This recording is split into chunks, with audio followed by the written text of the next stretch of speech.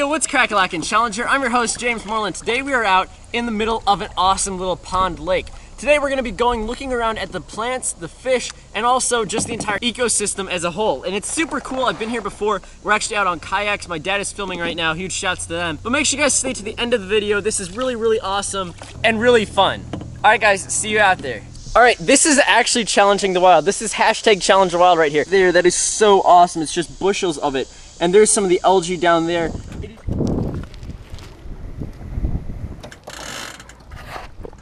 So it is really windy, but we can actually see some Anacharis, some Elodea, and some hornwort. And you can actually see some, there's a lot of bird feathers and stuff, but there's some Anacharis and there's some hornwort. So that is really cool to see these plants IRL, so yeah.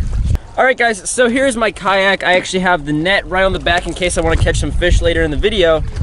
But underneath here, I actually have a tripod that I'll be using out later to film, and I also have some big boots on so I can actually step a little bit in the water. And yeah, so I'm actually gonna be heading out to cove over there. So I'm gonna have to get in the kayak, go myself all the way out there. It's gonna take about five minutes, 10 minutes, so I'll see you guys then. Okay guys, I'm in the middle, or not really the middle, I'm actually just took off from the lake, but as you can see, I have uh, the kayak, I have the little, the paddle thingies, but here's my camera bag.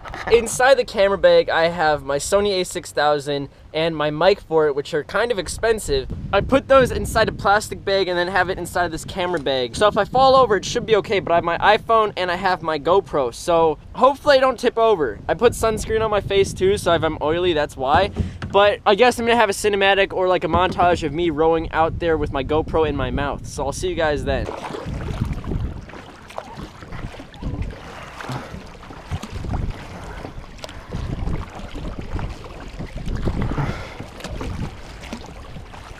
All right, guys, so we just made it to our first stop. So I just crossed from over there and we were actually in this little like like cool area. So basically this is like the shore, the edge of it, but you can see they have a lot of branches, a lot of sticks coming in here, and it's just so cool. I'm trying to keep my distance from all these stuff. I actually parked my little raft in this little driftwood.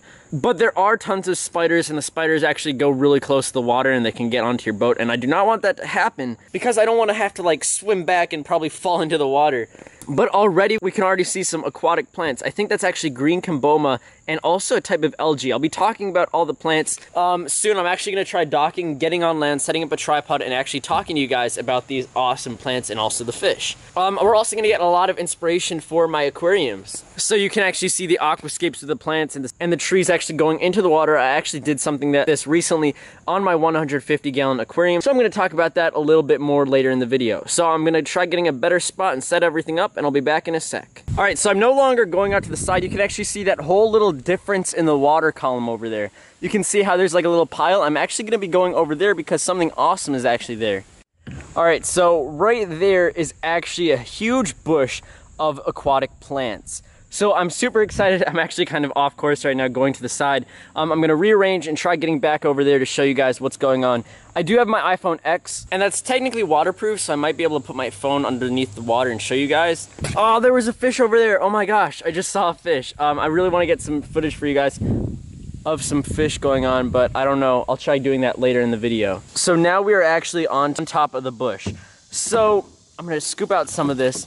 Um, this, oh sweet, okay, this is what I wanted to talk about. Okay, so this plant is actually not really a plant. This is actually called Chara, and this is actually a form of algae or microalgae in, in freshwater ponds. So you can actually see it has like a stem-like feature, it actually has tons of leaves coming off, but this is actually an algae, so that really surprised me when I found that out. But after doing enough research, it's actually a really cool form of algae. So what's great for this is all of the plants basically are great hiding spots for fish and baby fish. Um, so you can see like the characteristics of being spread out. Guppy grass basically does the same thing, but this is really awesome. So I'm gonna try getting some more plants and showing you guys what we have. All right, so I'm on this whole little mesh of plants.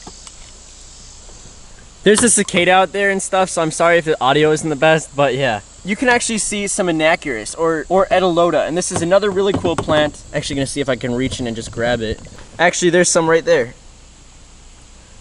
So this is actually Anacharis or Elodea, and it's a really cool plant. This is actually a native species to Pennsylvania and, and illegal in Wisconsin and quite a few states actually. But it's a really nice plant, and I actually cut my thumb earlier, so that's why I have a band-aid. But but you can see like the characteristics of it. It's also a really elongated plant that have leaves that are spread out on it. It's just a really cool plant. Um, and here's some more of it. And now I really want to look for another plant that they have and that they're known for. Oh my gosh, guys! Oh my gosh! Okay, I'm gonna have to put my phone underneath the water to show you guys this. Um, that is so cool. There's literally a whole bush of these plants growing naturally. I've never really seen anything like this. It is super cool. Oh, you can see it right there. Ah, you can actually see it right there. That is so awesome. It's just bushels of it. And there's some of the algae down there. It is just so beautiful. And there's actually driftwood. What? Oh my gosh, there's driftwood down there. That is so cool. And then there's, oh, that's the plant I want to talk about right there. This plant is actually called hornwort. I don't know if I'll be able to grab it out of this, this clump, but hornwort is an amazing plant. It's also spread out, and a lot of people have this in their aquariums. I actually have it in my aquariums. It's not native to this area or not exclusive to this area. And you can actually see some more bushes of that. That is so awesome. I really wanted to show you guys this. You can see the plants. They're actually rooted to the ground. They're probably like a meter, a meter and a half tall. Um, basically like a yard and a half tall. But that is so awesome.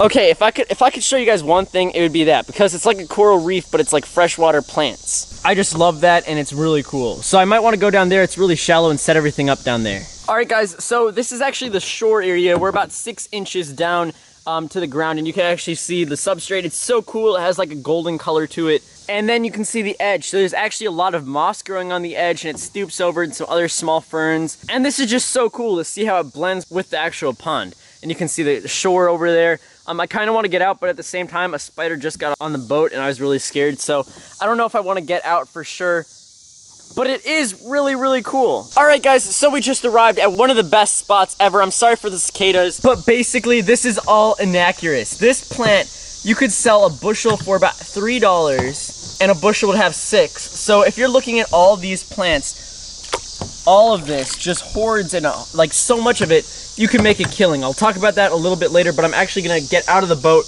and just look at the moss. That is so awesome for like a natural terrarium. Alright guys, so I just got off. You can see everything out here, but I'm actually to grab the tripod, which is right here. So you can see the ground cover, everything out here.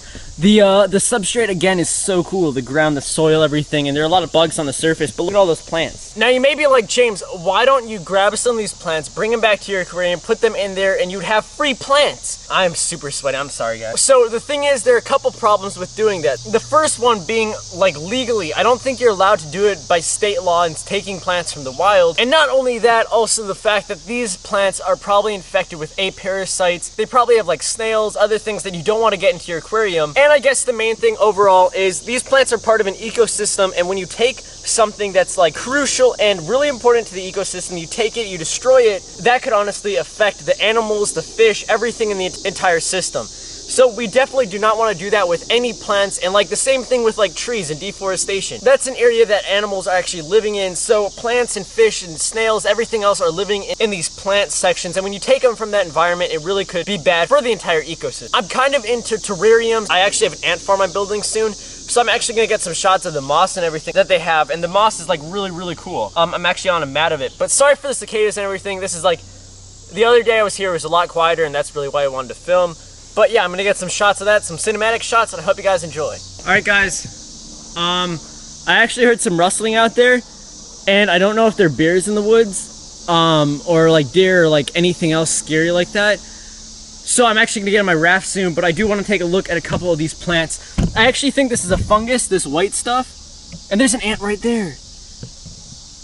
You can see all the different types of moss, but uh, geez, my heart's actually really racing right now.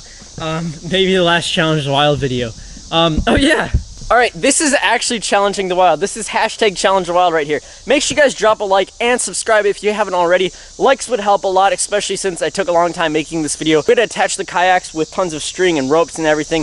But yeah, make sure you drop that like right now. And look at that these little bunches of moss. Like I would really want to take the moss, but again, it's the same thing with the entire ecosystem. Um, all this together works as one to create like a beautiful, amazing ecosystem. Um, I'm trying to look for some fish. I'm going to start switching to my phone and packing my camera up um, to get you some footage of that. but hopefully I catch some fish. I do have a net. My dad and my sister are actually catching fish currently, but they're actually using fishing rods and just catch and release. So yeah. All right, guys, I'm gonna get in the raft and start heading out.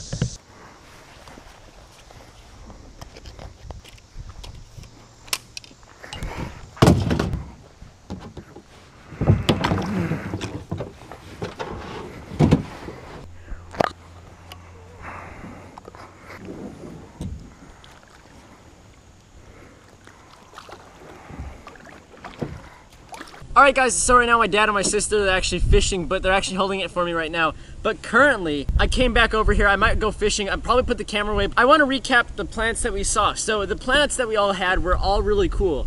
And the plants we had had a lot of things that were similar, and there were a lot of similarities. So one real major thing is that they all fanned out. All the Anacharis, the Cabomba, the hornwort, all of those plants decided to spread out, and that's great for fish because the fish can actually hide when they're babies inside of that and also grows microorganisms that they can feed on. So this entire living system works completely, like really well together and also the fish poop over time that eventually fertilizes the plants. So it's like an entire ecosystem. It's really awesome and this is something I strive for with my aquariums. So guys, thank you so much for watching. I will catch you all on the flippy flop. Make sure you hit the like button and the subscribe button if you haven't and the notification bell. I will catch you all on the flippy flop. See you guys later. Bye.